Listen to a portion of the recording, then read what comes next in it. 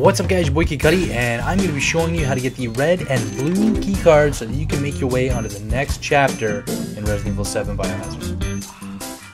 Okay, so you're going to end up in the kids' room here just like this, and you're going to find a lamp on the table. Just inspect it, and if you look at it from beneath, you will see a red button.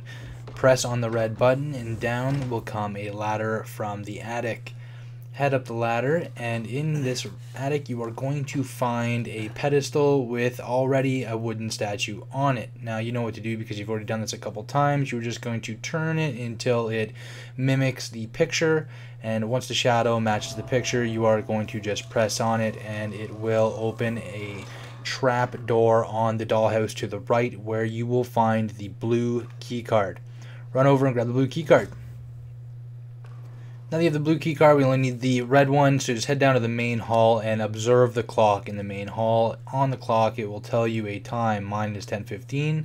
You're going to head up the stairs into the room, into Grandma's room, or sorry, the master bedroom, and you're going to find a clock on the side of the table. Make it 10.15 as well, and then the trap door will open under the bed head down and then it will bring you into the workshop, a room that you were unable to get into through the door.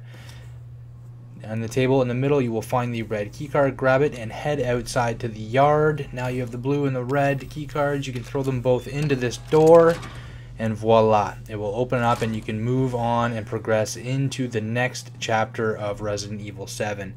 I hope this helped you guys out. If it did, comment, like, subscribe. For now, I'm Kid Cutti and I'm out. Peace.